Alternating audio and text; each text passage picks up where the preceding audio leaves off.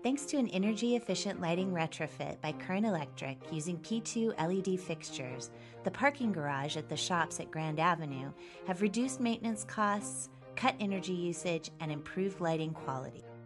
Before the retrofit, the parking garage was lit with 986 metal halide lights, which used over 150 watts each.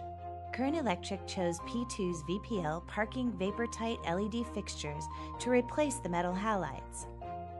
Each VPL uses just 51 watts of electricity, immediately cutting energy use by over 66%. To increase the energy savings even more, Current Electric and P2 added occupancy sensors to the fixtures. When the area is empty, the sensor dims the fixture to 40% of its brightness. When an occupant or a vehicle comes near, it immediately comes up to full brightness. Current Electric and P2 also added daylight sensors to fixtures mounted around the edge of the garage. The VPL parking vapor tight LED fixtures also have more than double the lifespan of the fixtures they're replacing.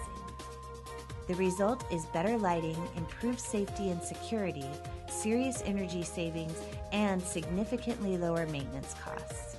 In fact, the new lighting is saving the parking garage over $134,000 in energy costs every year. It's also reducing CO2 emissions by 949 tons, equivalent to taking 198 cars off the road for a year.